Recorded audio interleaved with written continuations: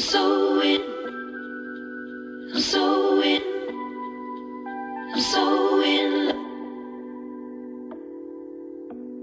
Let your cup bubble up like a cartoon in love. Drink it down. All right, here we are. It's a little windy. Uh, probably tough to hear. Let me see if I can. That'll help.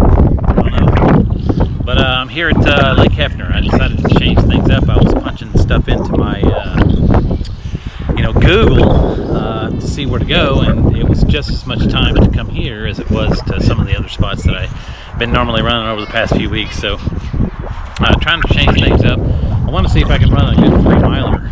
Uh, and sometimes freshness does that for you, you know. So come out to Lake Hefner and it's got a real good running path. So uh, beautiful afternoon. It's you know 69, 70 degrees, short sleeves, shorts. It's December, so um, see if I can get a nice little run in uh, here at Lake Hefner. And I came uh, upon these uh, little seagulls. Look at these little seagulls out here. They're all just chilling, bathing.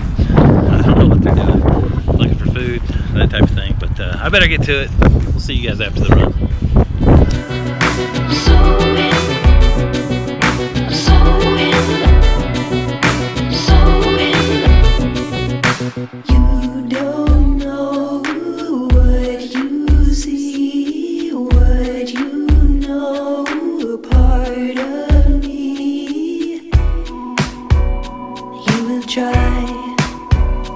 To get it right.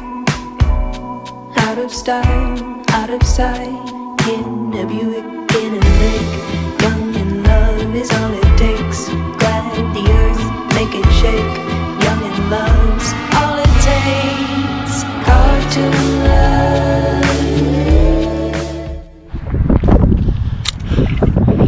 All right, here we are. Three miles, three miles complete here at Lake Hefner, and uh, it feels pretty good to. Uh, you know, I've just been kind of doing short runs. I was injured for a while, and then lacked motivation, and then racquetball got to me, and excuse after excuse after excuse. But today, uh, you know, I, I decided to uh, try somewhere fresh uh, that I haven't run in a while. See if I can get some motivation to, uh, you know, put in some mileage, and it worked. So three miles complete, and then tomorrow is racquetball day.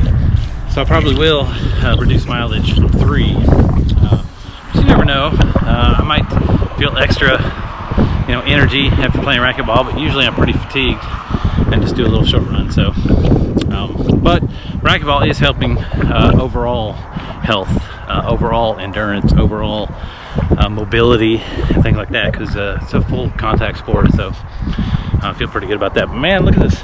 Look at the sunset right here Just gorgeous. So anyway, pretty happy here at Lake Hefner, three miles. And uh, now I got the rest of the night ahead of me. So good luck on your day, whatever's out there, and we'll see you guys tomorrow. It's a good day.